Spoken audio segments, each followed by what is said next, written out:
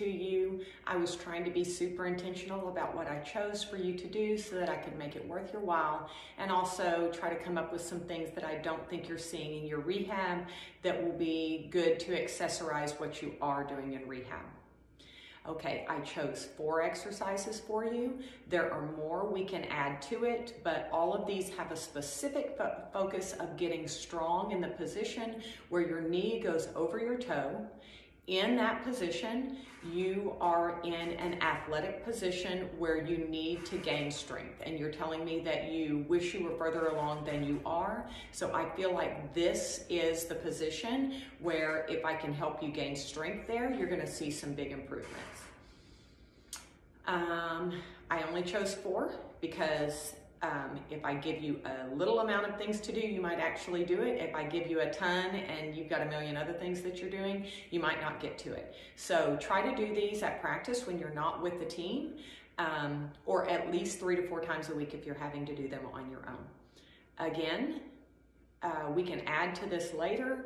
If any of this is not working for you, you're gonna let me know. I'll check in with you at practice this week, but I hope I'm giving you. Clearly you know how to walk or jog backwards, but I'm gonna do it um, here so that you can watch, so that you can see what I'm talking about with this being ben beneficial to where you're at. So walking backwards, you have to drive your knee over your toe to do so.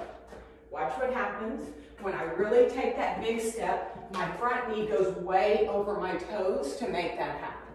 So in the practice facility, walk backwards. If you can handle jogging backwards, jog backwards. This is the one of the most beneficial mobility things you can do for this part of your knee. We call these tibialis raises. Again, what we're trying to do is strengthen you right here where you're having your issues, okay? We're going to keep the bottom against the wall, lift your toes. You're gonna feel all of this pulling up into the knee and just above the knee. And then drop your toes down. If this is too easy, the way you progress it is to move your feet out slightly. The butt stays on the wall, you're hinged here, your chest is lifted. One, do them with me. Two, three, four, both feet should touch at the same time six, seven, eight, nine, 10, 11, 12, 13, 14, 15, keep pulling high, 16, I'm getting fatigued, 17, 18, 19, trying to pull the toes all the way to the shins, 20, 21, 22, 23, 24, 25. And I want you to work up to where you can do 100 of those fairly easily. All right, this next exercise, again, is gonna focus on strengthening you in the knee over toe position, which again is affecting all of this above and below where your issue lies. Bring yourself up onto something. I'm about four inches high right here. I could go a little higher, but I've already tested it and found out that's too much for me. Find something that works for you. Obviously, make sure that it's stable. So that doesn't happen. And then here we go. We're gonna do 10 of them. Knees straight over your toes, chest tall. Try not to let your knee drop to the inside or the outside right over your ankle. Three, four, five.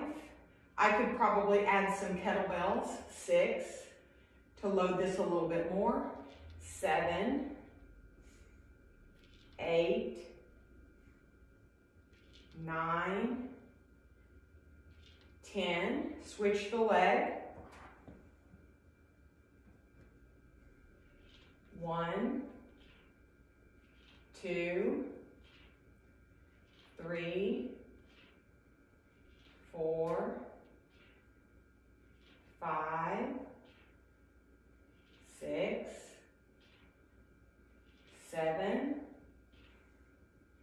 eight, nine, ten. Notice that I said I could probably add some kettlebells. I would add weight before I would go up higher, and I'm gonna show you why. Here I am, doubling the height, or maybe uh, adding a couple of inches to the height. And then notice what happens here as I try to go down. Now my chest is having to go forward and I'm not in as good a position. I'm not strong enough to handle this in my ankle dorsiflexion yet. And so I like the fact that my knee is getting more of a load, but I don't like the way it's happening. So I would add load by adding the kettlebells to the lower height until then I could be strong coming up a little bit higher. So that's how you progress it, okay? Finally, and this is the most advanced, you may not be ready for this yet, we're gonna do knee over toe lunges.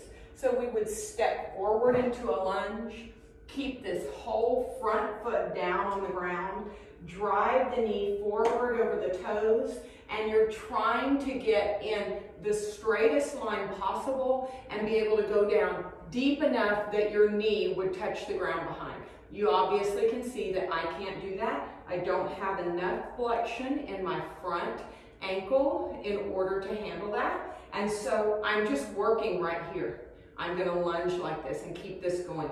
Focusing on keeping it slow and uh, driving my knee straight forward over my toes. So I would just step through to the other side.